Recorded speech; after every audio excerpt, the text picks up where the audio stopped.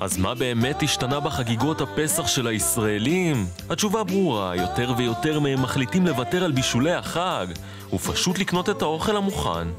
קונים אוכל או מבשלים אוכל? לאט לאט מתקלקלים קצת ומתחילים לקנות בחוץ. אה, גפילטה זה ככה, אחותי רק מכינה ואני קונה. עדיף לנוח.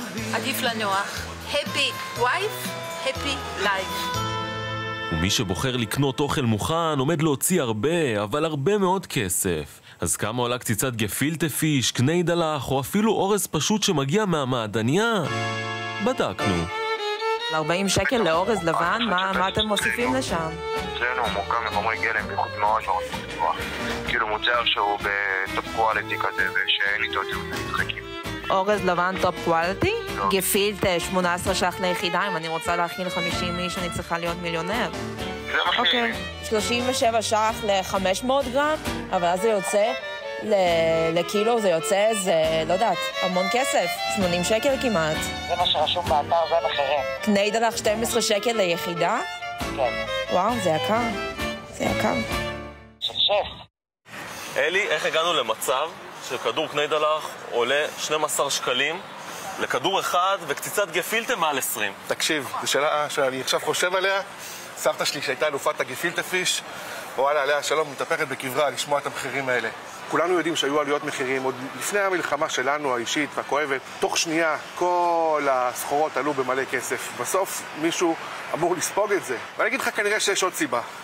האוכל היהודי נהפך לטרנד לוהט. מה זה בעצם חמין, צ'ולנט?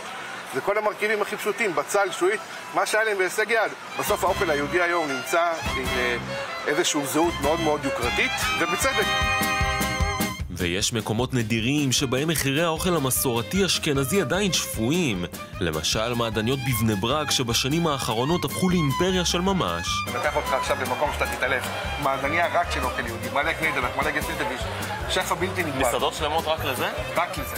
כרוב ממולא, סימס, פרפל, סרפל. קרטופל. קרטופל, פרפל. מסורת זאת מסורת. מסורת זה מסורת. אני רוצה להקריא לך את מוישי גולדיס, מחלוצי האוכל היהודי בארץ. מהחלוצים, לא, לא פחות ולא יותר. לא פחות ולא יותר.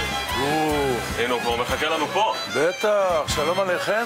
בכמה אנחנו נמצא את הקני דלח הזה? אצלך? שלנו, כן. כל השנה אתה משלם 12 שקל לעשרה קני דלח, בפסח אתה משלם 16 שקל. אז 12 שקלים לשישה קני דלח בפסח, אתה רואה עם הזמן יותר אנשים באים וקונים אוכל מוכן, או יותר מבשלים? בהחלט. אנשים יושבים בבית, עושים הזמנה באונליין, מקבלים מהקערה של הסדר, מרור, חרוסת, זרוע, ביצה, עד המנה האחרונה, קינוח. סדר פסח באינטרנט. סדר פסח מלא, לא רק סדר, כל החג.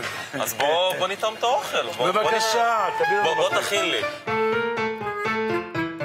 החזרת זה כמו גז מדמיע בטעם. בבקשה. בוא נראה.